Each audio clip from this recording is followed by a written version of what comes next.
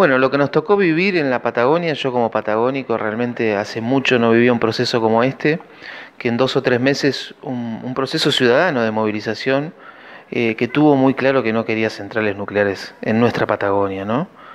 Y bueno, comenzó eh, en julio este proceso y se empezaron a dar movilizaciones en muchas ciudades donde se preveía que iba a estar esta central nuclear cerca de la costa y realmente fue impactante, y llegó al punto tal que vivimos lo que sucedió después, el corolario, que fue el gobernador dando marcha atrás, sacando la primera legislación, creo que debe ser a nivel, no sé si Latinoamérica toda, una legislación que dice que se prohíbe una central nuclear de potencia para producir electricidad, digamos, ¿no? No los reactores de investigación y de salud.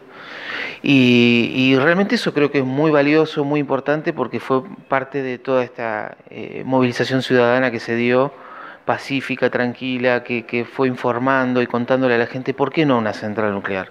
Y claramente por qué están diciendo que no. Bueno, estas centrales nucleares hacen emisiones al ambiente. Eh, no hay un umbral tolerable, esto es lo que está diciendo la gente, y todas tienen emisiones como lo han reconocido. Lo que pasa es que la industria dice que hay un piso legal que, permite estas emisiones de tritio radioactivo, por ejemplo, como hay en Córdoba. Pero la ciencia también ha dicho eh, que no hay un umbral que no, que no provoque algún tipo de daño. ¿no? Y eso la, sociedad lo tiene claro. Y por otro lado está la potencialidad de las renovables. ¿no? Las energías renovables donde la Patagonia tiene un potencial quizás único en el mundo para eólica. Estos fueron, creo, los dos combos que hicieron que la ciudadanía se mueva, ¿no? Es decir, que se podía reemplazar fácilmente esa central con las energías renovables.